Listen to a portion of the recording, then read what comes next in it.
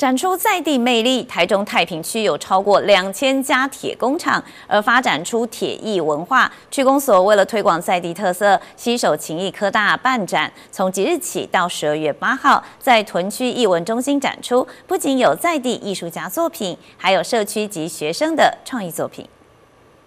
不良，那些是属于外观不良哈。将 NG 零件重组变成工艺品，太平区有两千多间铁工厂，为了将制成废材妥善运用，发展起铁艺文化。而这次区公所也携手勤益科大合办铁工艺展，结合我们太平的五金产业，还有我们各大学啊的师资，还有我们同学们，大家共同来啊，把我们的啊五金产业的手工具的这些产业技术。希望能够来升级、提升我们的美感艺术，将端铁弯曲做出像马车的造型，还有融合铁罐做成的机器人、铁片组成的台湾图案等。这次展览结合在地社区、学生、艺术家，共三十二件作品，在屯区艺文中心展至十二月八号。不止将废材再利用，也传达出在地的文化精神。我们的主题哈是叫拼铁寻艺，好，那也就是说。由我们早期哈，早期我们